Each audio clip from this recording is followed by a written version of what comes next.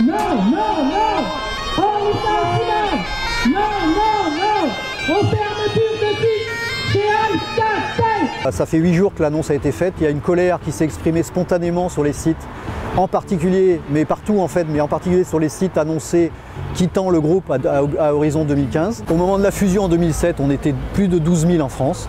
Aujourd- Aujourd'hui, on est environ 8 000. Ce plan vise 1800 emplois, plus deux filiales qui risquent d'être vendues. Donc ce plan Shift pourrait amener l'effectif global en France à, moins de 5000 salariés d'ici 2015. Mais en fait, on savait qu'il y avait un plan, un nouveau plan qui devait être annoncé la semaine dernière, mais on ne s'attendait pas à une telle ampleur. C'est énorme. Six plans sociaux en 7 ans, ça commence à bien faire, donc euh, il est temps que ça s'arrête. Les gens sont écœurés parce qu'ils donnent de- le maximum de ce qu'ils ont. Et par contre, euh, eh ben voilà, on se fait mettre dehors euh, du jour au lendemain. C'est la mobilisation générale aujourd'hui, hein, euh, une, grosse, une grosse colère, et puis on, on- on croit encore que notre avenir est, peut, être, peut être assuré, qu'on peut euh, faire changer ce, ce plan. euh.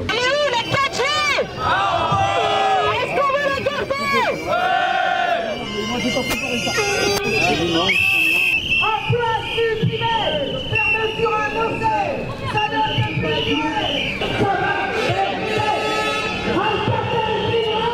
Je suis là pour, une- d'une part, partager leur indignation et d'autre part, faire en sorte que le gouvernement et aussi la direction d'Alcatel mettent tout en œuvre pour euh, baisser euh, les suppressions d'emplois. Et j'ai l'impression maintenant qu'ils se moquent de nous, nous fait payer les conséquences d'une très mauvaise gestion. Ils nous disent qu'ils ont trouvé une stratégie industrielle, mais le problème c'est que cette stratégie industrielle se fait sans les employés aujourd'hui. Pôle Télécom, oui Rien de neuf à cette réunion, rien de nouveau.